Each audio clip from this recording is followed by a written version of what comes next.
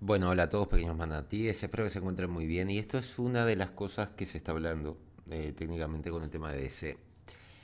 Me pareció interesante porque se está hablando, y esto es un rumor, considerando la situación en la cual está Warner Brothers, eh, aparentemente David Zaslav ordenó a James Gunn que apilara en Superman Legacy la mayor cantidad de personajes de DC para atraer compradores potenciales. Esto lo hemos hablado una táctica que hay cuando vas a vender una marca es llenarla de proyectos para venderla más cara, ¿no? Puede ser para venderla o licenciarla. O sea, esto puede ser un rumor, pero también tiene sentido lo que se está hablando, ¿no? Cuanto más cosas o más hype puedas generar, si querés deshacerte de algo, eh, mejor, más caro se vende es probable, se ha hablado mucho, el tema de DC Comics no está siendo rentable, el universo de DC es prácticamente un fracaso, hay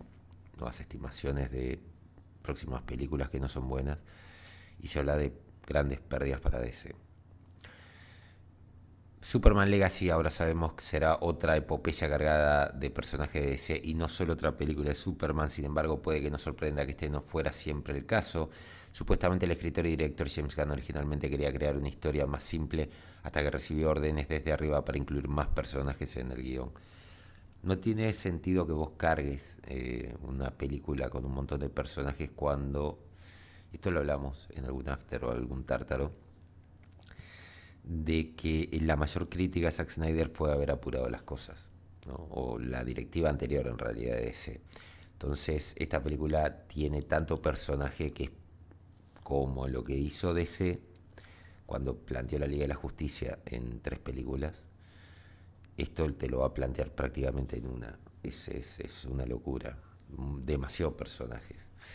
La youtuber eh, Sil Abdul se entera de que el director ejecutivo de Warner y jefe de GAN, David Zaslav, está presionando para que se presenten todos los héroes y accesorios adicionales con una agenda en, en mente. James Gunn originalmente tenía como objetivo que Superman Legacy fuera simplemente una historia de Superman y todavía lo es, pero la inclusión de este telón de fondo mundial de DC parece haber sido impulsado por Zaslav.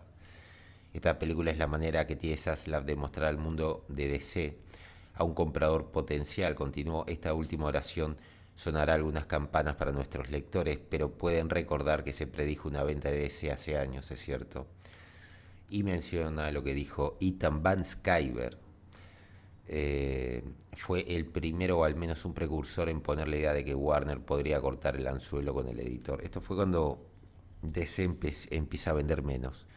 Y de hecho creo que las ganancias de DC estaban en 300 millones. Era muy pobre la ganancia. Y estamos hablando en una época infinitamente mejor que ahora. Lo que ahora está ganando es muchísimo menos. Para ser justos, Van Skyver ha estado diciendo eso desde que AT&T era el principal propietario. Dar la vuelta a la nave resultó ser una tarea demasiado insuperable para el gigante de las comunicaciones, por lo que Warner Media se fusionó con Discovery. Esta fusión por sí sola no solucionó sus problemas y en cambio dejó a Zaslav con un montón de deudas con las que lidiar quedó Saslava en esa posición, un montón de películas eh, de DC que terminan muriendo. Eh, o realmente yo creo que la mayor parte de lo que se produjo no tiene capacidad de venta. Blue Beetle no, no, no tiene buenas estimaciones. Aquaman tiene, digamos, muy poca probabilidad de funcionar porque es una película que en realidad no va a aportar nada a un universo que está muerto con esta nueva, digamos, DC como universo está muerto desde que James Gunn planteó el reboot, entonces son películas que quedan como colgadas, ¿no? Sí, miralas a ver qué hicieron, pero básicamente no van a tener una continuidad.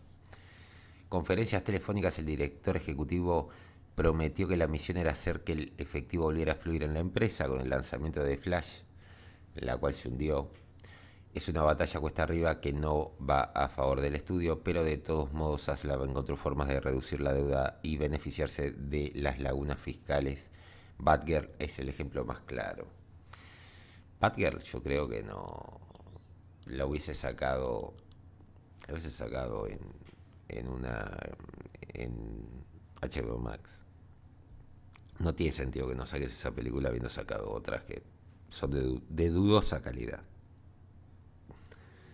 La sensación de algunos expertos es que Zaslav está pasando por todo este caos para preparar su entidad Warner Brothers para otra fusión. A pesar de que se mantuvo firme en la idea, en septiembre del año pasado declaró no estamos a la venta, absolutamente no a la venta. Disney fue considerado un comprador en un momento, lo que pondría DC bajo el mismo techo que Marvel, pero Abdul cree que el candidato es Comcast NBC Universal. Podría venir una venta ahí. Con el dinero que saque de la venta a, Disney de su participación, podría ser. De cualquier manera, Zaslav quiere comercializar fuertemente la amplitud de la IP. Muy probable que haya una venta ahí y podría sacar bastante dinero. De hecho, en un video de seguimiento, Abdul agregó que las órdenes de Zaslav se aplican a Superman Legacy y Brave and the Bold, que es una película completa de la Batifamilia. Warner Brothers todavía está ajustando su estrategia y los consultores están sobre el hombro de Gunn. Sin embargo, podría dejar el trabajo sucio de construir el universo a Universal después de la supuesta venta. Yo creo que si el que la compre no creo que use nada de lo que estén produciendo.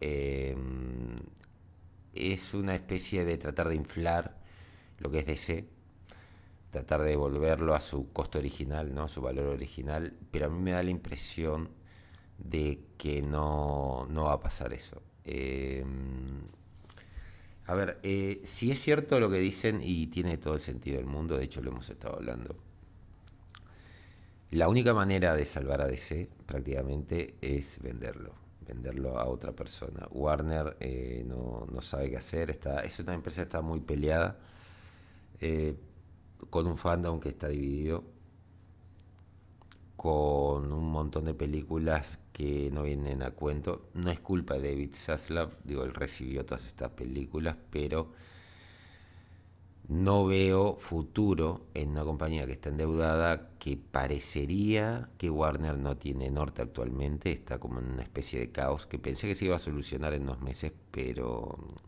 no, como que no hay un plan previo. Tiene todo el sentido del mundo que vos llenes de personajes la primera película si tu intención es venderla. También les voy a decir eso. No tiene sentido hacer una película super mega grande considerando lo que pasó con The Flash por ejemplo, eh, que realmente no, no fue un éxito en taquilla y tampoco tiene mucho sentido andar apostando al género de superhéroes con los últimos rendimientos que no han sido para nada espectaculares. Han, habido alguna que otra película que ha recuperado el dinero y ha sacado un mínimo de ganancia, pero realmente eh, esos batacazos que habían hace 3, 4, 5 años no. Con lo cual el género de superhéroes al estar en decadencia Puede ser una buena inversión venderlo ahora, que vale algo. Podría ser. No porque los personajes no sean buenos, sino porque no saben manejarlos, básicamente. Y porque no sé si realmente Warner, eh, Warner Brothers Discovery tiene el capital para poder hacer algo bueno. O el margen para poder moverse en una buena película.